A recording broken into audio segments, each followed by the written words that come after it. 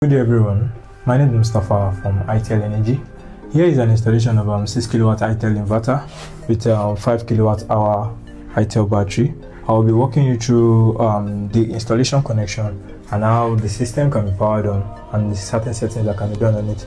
So here we have um, our input breakers, output breaker and our changeover. Here is where it goes to the input of the inverter and from here comes from the output of the inverter here down to the changeover. Including here is the bypass of the installation. So right now we'll start with turning on of the battery.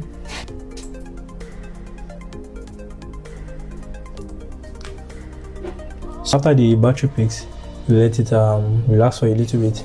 We go next by setting the dialing key.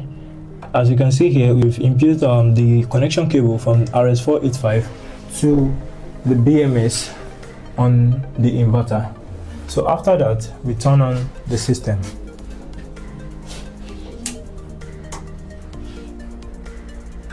First of all, as we can see, the BMS is not connected yet on the system. So basically first we go to set um, the lithium battery and next the BMS. First of all, we down press this.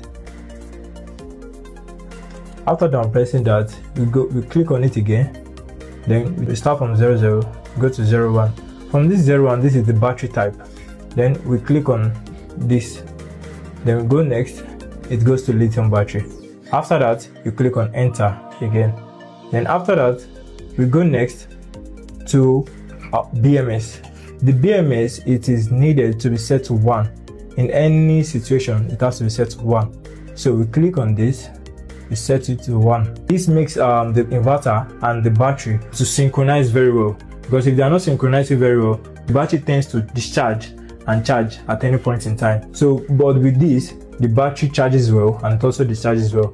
So after that, we go back to see what we have set. Now the lithium is showing and the BMS is also showing. So that is all.